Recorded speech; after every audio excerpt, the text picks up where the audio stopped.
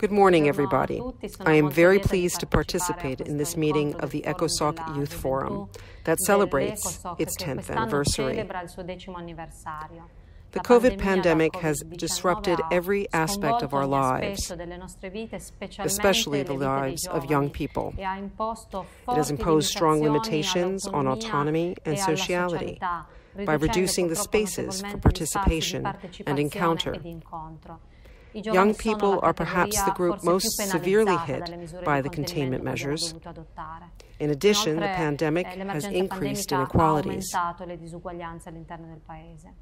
Participation is the main objective of the European Youth Strategy 2019 2027, to which the youth policies of the Italian government are inspired.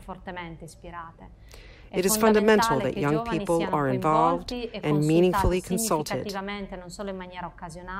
in relation to policies that affect them.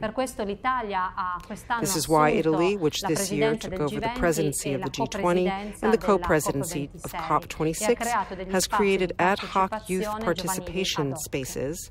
The Y20 summit to be held in Milan in July will allow young people to entrust to the leaders of the G20 their recommendations on sustainability, climate change, innovation, digitization, and inclusion.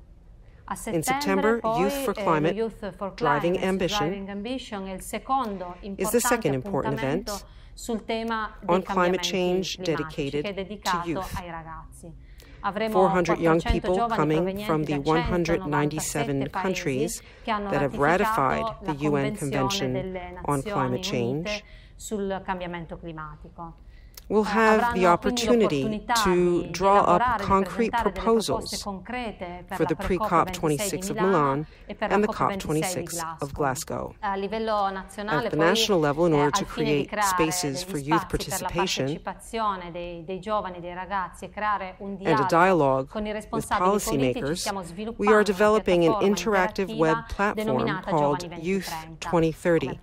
The name originates from the 2030 Agenda for Sustainable development.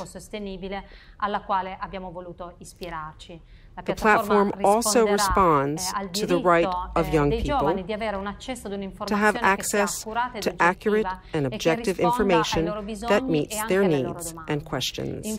Last but not least, Italian youth organizations are proving to be important players in making proposals for the recovery and resilience plan. I promise you that we will do everything we can so that our young people will not be disappointed. Thank you.